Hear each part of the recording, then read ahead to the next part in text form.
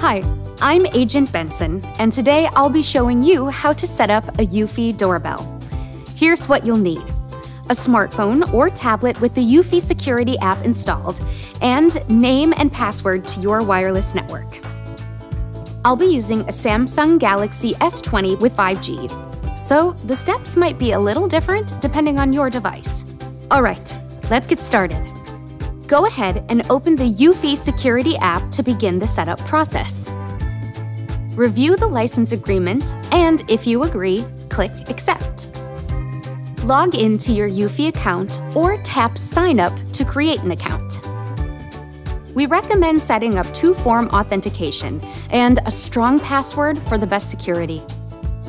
If you want to allow the app to access your photos and other files, tap Allow since I want to save images, I will select Allow. Now tap Add Device. We're using the wired doorbell, so we'll select that option. Tap OK, and then tap Allow to let Eufy use the camera on your device. On the back of the insert, there's a QR code. You can either scan it or type it in manually.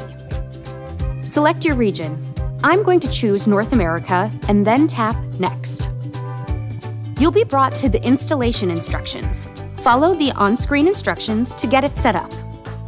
Eufy requires 16 to 24 volts of power. The app will test your voltage to make sure you meet the minimum requirements. Tap Start Now to begin the test. Now, hold the doorbell button down for 5 seconds until you hear a ringtone. When you do, press I've heard the ringtone to continue. A pop-up will come up asking to allow access to the device's location. I'm going to choose Allow all the time. Next, you'll get a message to turn on Bluetooth. Once you've turned it on, if it isn't already on, tap I've turned on Bluetooth. Next, the app will connect to the doorbell. If you did it correctly, you'll get a message saying that your transformer is capable of powering the doorbell. If you get a different message, we recommend contacting a professional for help with the installation process. Since my voltage is fine, I'll tap Next to continue the setup process. Now it's time to connect the doorbell to Wi-Fi. Select the network you'd like to join and enter your password. Press Connect to continue. Now it's time to set up the included chime. Plug your chime in and wait until you see a solid blue light. It shouldn't take longer than a few seconds. Once you see the light, tap Chime Lights Up to continue. Now press and hold the sync button on your chime for two seconds. You should see the light start to flash blue and hear If you hear this, it's ready to pair with the doorbell tap Connect in the app. The last thing we need to do is press the doorbell button to make sure the chime paired up correctly.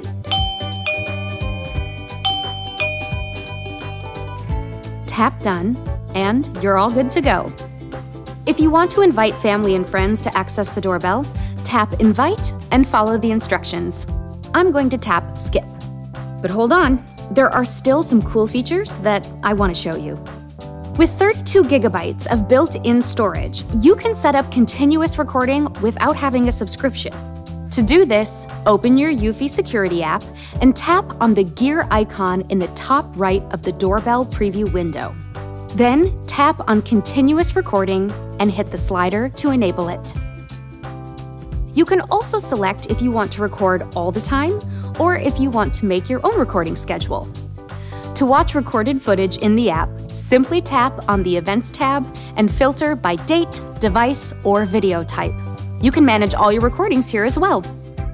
Another cool feature is Face Snapshot Notifications, which sends you a picture of the person in front of your doorbell. This feature is turned on by default.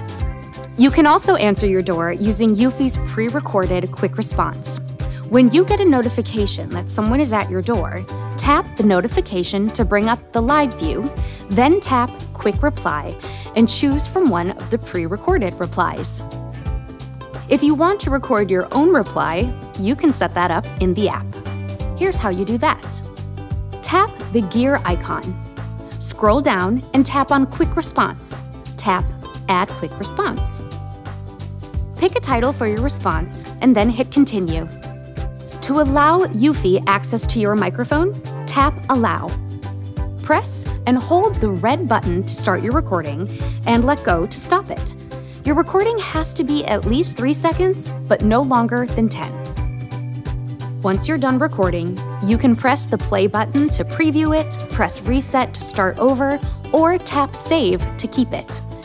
Your new response will now be added to your quick response list. And there you go. Hopefully this video was helpful. If it was, give it a like. If you have any questions, leave them in the comments, and don't forget to subscribe to our channel for more tech tips from Best Buy. Thanks for watching.